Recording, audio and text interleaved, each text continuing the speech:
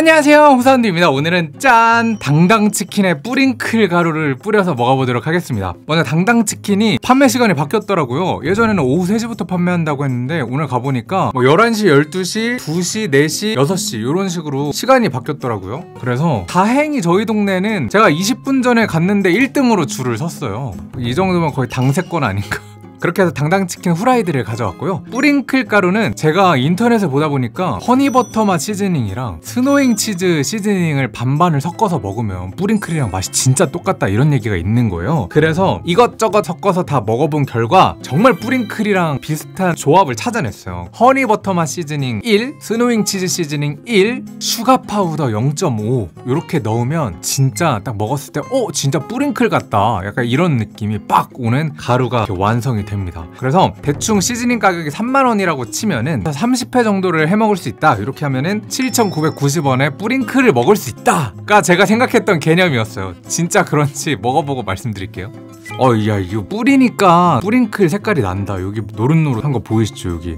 먹어볼게요.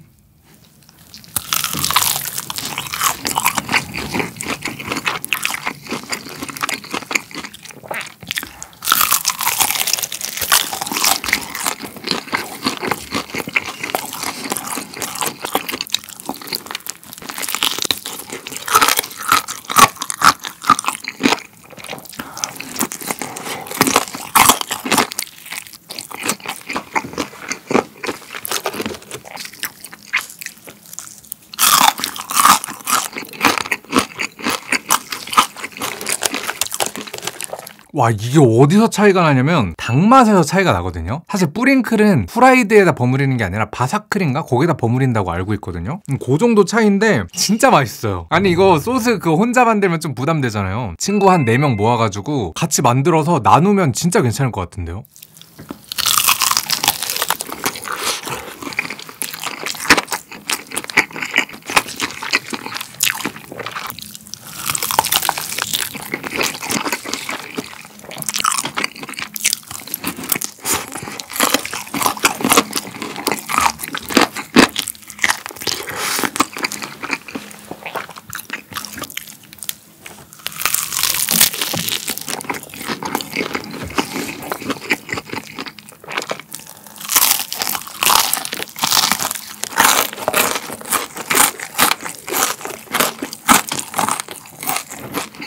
아 근데 이거 당당치킨 안에 들어있는 감튀는 좀 별로다. 뭔가 좀 아쉬운데요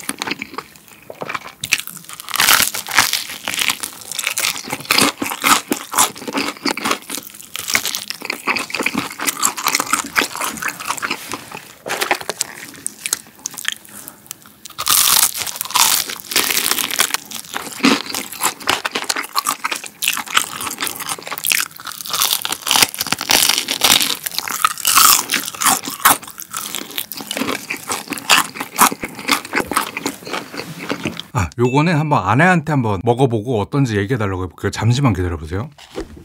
자, 일로 와보세요. 음, 어때? 맛있어. 엄청 맛있지? 음, 근데 나 조금 다른 게 있어. 뭐?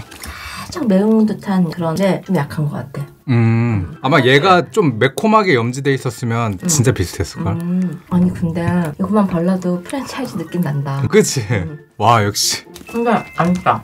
안 짜지? 요렇게 먹으면 딱 맞는 느낌이야. 음, 이렇게 많이 찍어도 그렇게 안 짜네. 응, 응. 그러니까 사실 뿌링클 엄청 자극적이잖아. 뿌링클 응. 진짜 짜지. 음. 근데 얘가 그냥 딱 좋은 것 같고 나는 사실 지난번 당당 치킨이랑 이번에 비교하면 지난번에는 포장 해오자마자 바로 먹었잖아 음. 근데 이번에는 포장 해오고 한 두세 시간 있다가 먹었잖아 음. 그래서 그런지 조금 닭 냄새가 나는 느낌? 받아 오자마자 바로 먹었을 때는 진짜 괜찮았거든 에어프라이어 돌렸을 때 그냥 맞아. 깔끔깔끔했는데 맞아. 얘는 이번에 좀 냄새가 나는 것 같아 닭 냄새. 음. 잘 먹었습니다. 야 오늘 당당 치킨에 뿌링클 가루 만들어서 먹어봤는데 이렇게 먹으면 7,900원인 거잖아요. 끝났다. 솔직히 말해서 어 그럼 뿌링클이랑 얘랑 뭐가 더 맛있어? 당연히 뿌링클이 맛있지. 고기는 바로 튀긴 거 막 김 펄펄 나는 데다가 시즈닝 뿌려서 딱 주니까 당연히 맛있는데 이거 두 마리 먹을 수 있잖아. 이거 뿌링클 좋아하시는 분들 진짜 꼭 한번 해 드셔 보세요. 제가 오늘 당당 치킨이 어 진짜 괜찮구나를 느꼈던 결정적인 이유가 뭐였냐면 원래 당당 치킨만 사러 갔다가 간 김에 짜파게티도 하나 샀어요. 그리고 중국 당면도 하나 샀단 말이에요. 그리고 애들이 좋아하는 새우 과자도 하나 샀어. 그렇게 해서 계산하려고 보니까 15,800원이더라고요. 그래가지고 어 아직 2만 원도 안 남았단 말이야. 진짜 괜찮구나를 그때 빡 이해를 한 거예요. 강추.